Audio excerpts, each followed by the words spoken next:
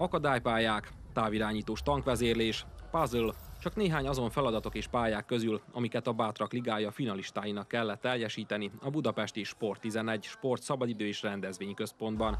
A Horgosi Molnár Maja félelmeit legyőzve falmászásban gyűjtötte csapata pontjait. Nagyon féltem igazából.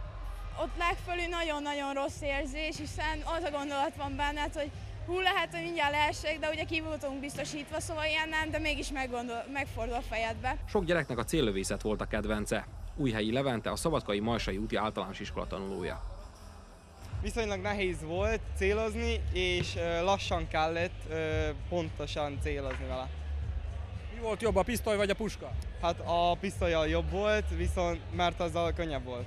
Az ügyességi feladatok teljesítése mellett kárpát-pedencei barátságok is szövődnek, mondta az eseményen Hajnal Virág, Magyarország Nemzetpolitikai Államtitkárságának főosztályvezetője. Minden, ami jó gyakorlat és nagyon értékes Magyarországon, az ne, abból nem maradjanak ki a határon túli gyerekek se. Most már elmondhatjuk, hogy az elmúlt kilenc évben minden egyes programot mindenki úgy valósít meg a magyar kormányzaton belül és a partnereink keresztül, hogy a Kárpát-medencei egységes térben gondolkodunk. Tehát, hogyha egy magyarországi diáknak itt a helye egy ilyen megmérettetésen, akkor egy vajdasági, egy erdélyi, egy kárpátai és felvidéki fiatalnak is itt a helye.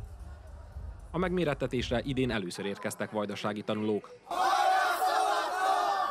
Hiszem azt, hogy a mai napon, a mai versenyen a tanulók újabb élményekkel fognak hazatérni, újabb barátságok fognak kötetni, és hogy az elkövetkezendő időszakban is örömmel és lelkesedéssel fognak jelentkezni az ilyenfajta megmérettetésekre.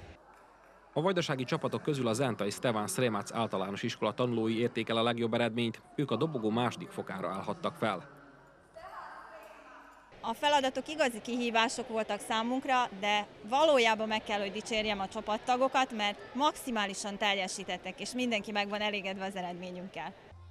A Bátrak Ligája budapesti döntőjét a Tatabányai Dózsa György Sportiskolai Általános Iskola nyerte, akik a legjobb határon túli résztvevő címet begyűjtő zentaiakkal egyetemben egy ötnapos balatoni nyaralással gazdagodtak.